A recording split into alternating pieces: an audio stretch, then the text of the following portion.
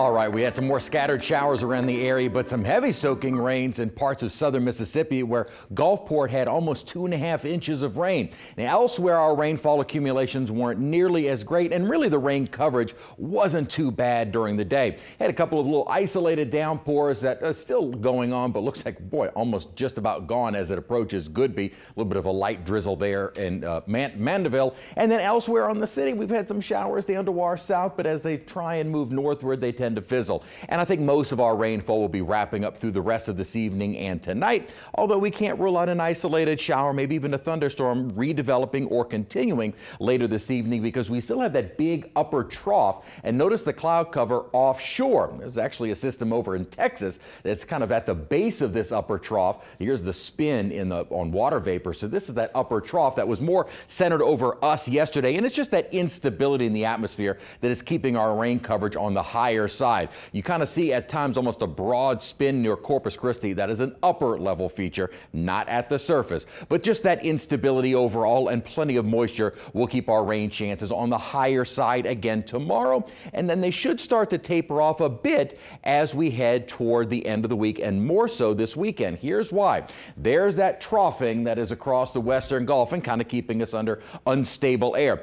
Big ridge of high pressure right in between is Elsa. Elsa is going to be moving on. As the subtropical ridge builds in as Elsa moves out, we're going to see generally a ridging feature across much of the Gulf South. That's going to start to put a cap on a lot of our rainfall. At the same time as the upper high is going to be building in, we're going to lose all of this deep tropical moisture that is helping to fuel those heavy storms and also creating more of the rain coverage. And we go from more of a tropical air mass to a drier air mass. Now, that does not mean we are going to dry dry out. It just will limit the amount of rainfall and also kind of limit those heavy downpours that we have seen across the area. So uh, not going to have a dry day coming up, but at least we'll see fewer showers by the end of the week and this weekend. Mostly cloudy skies outside at the moment, 81 degrees with winds out of the south southwest, fairly light at about 7 miles an hour. Once again today, we did not get into the 90s at Kenner. Average high this time of year is 91, and we have been staying below average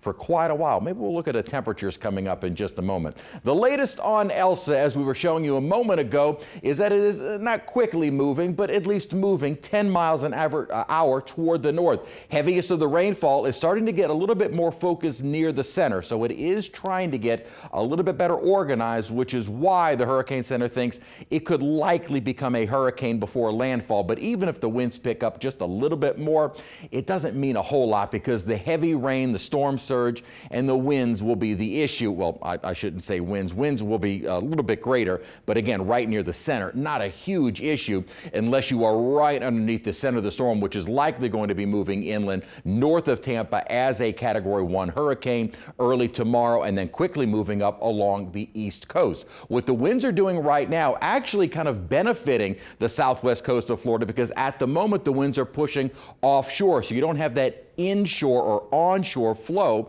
which would cause the storm surge. That will come, but at the moment, it has not been as bad because the winds are blowing away from the coast and not all that strong. Certainly breezy, 15 to 20 miles an hour. Key West is at 26 miles an hour at the moment. Rain, though, is going to be the main issue along with the storm surge, and they will likely pick up three to seven inches or more of rainfall as the storm, again, kind of on a faster note, moves away and up toward the Carolinas. Carolinas. Good news is there is nothing else we are tracking after Elsa is done. Seven day forecast rain chances again on the higher side tomorrow. At any one point, we usually have about 40, 50% rain coverage overall through the day, about 70%. Then those rain chances start to drop more so this weekend. So not a bad weekend to be outside. Just have the sunscreen and water handy. And then we're back to just the scattered uh, daily showers into early next week. All right, not too bad overall. Thank you, Chris.